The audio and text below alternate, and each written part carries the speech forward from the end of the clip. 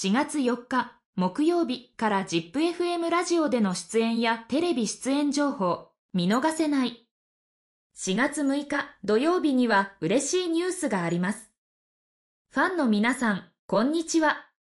今日はあなたたちにとって待ちに待った日です。そう、4月4日木曜日の注目ポイントをまとめた特別な情報をお届けします。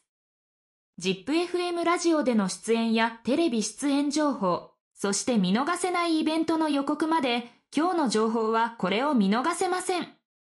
最新の情報を手に入れ、ナンバーアンダーライン I の活動に迫ります。それでは、早速見ていきましょう。まず、注目のポイントをチェックしましょう。そう、あなたのお気に入りのバンド、ナンバーアンダーライン I に関する重要なニュースをお伝えします。明日のメディア出演について期待していた方もいるかもしれませんが、残念ながら今回はテレビ雑誌ラジオ出演はございません。でも大丈夫。ファンの皆さんが心待ちにしているナンバーアンダーライン I の魅力はメディアに出ることだけにとどまりません。彼らの活動はますます拡大し、ファンの心をつかみ続けています。彼らは現在、新しいアルバムの制作に取り組んでいます。過去の作品を上回るものにするため、彼らは毎日スタジオで精力的に取り組んでいます。また、次のツアーの準備も進めており、ファンが彼らのライブパフォーマンスを体験できる日を楽しみにしていることでしょう。彼らの未来はとても明るく、彼らの情熱と才能は常に新たな驚きと感動をもたらします。これからも彼らの活動に注目しましょう。そしてナンバーアンダーライン I は世界の音楽シーンでトップを走り続けます。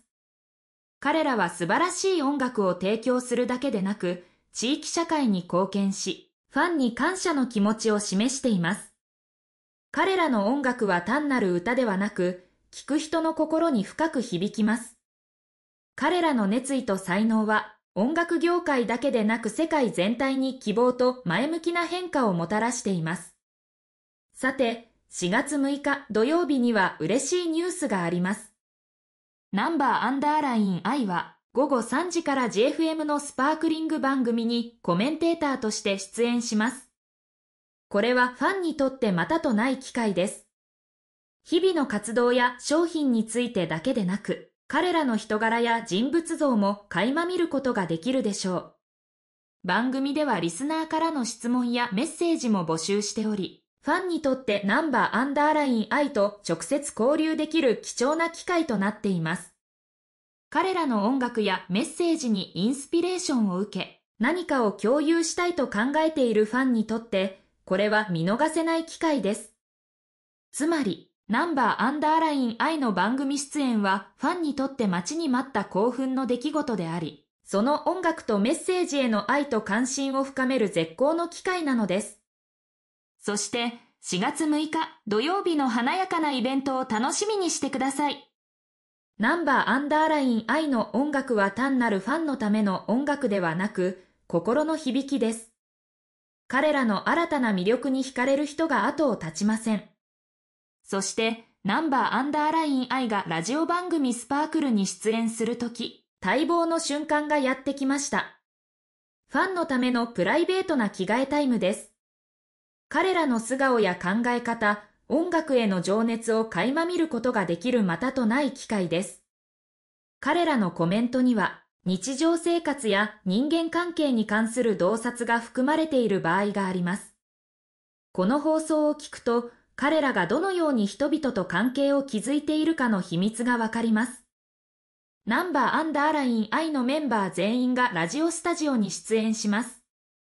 いつものステージとは全く違う雰囲気の中、リラックスした表情で座り、司会者の質問に答えていました。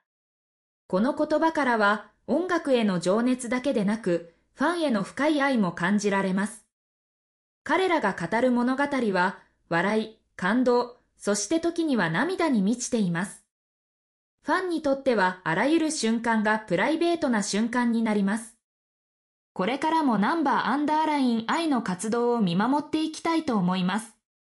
彼らの音楽はいつも私たちの心を豊かにしてくれます。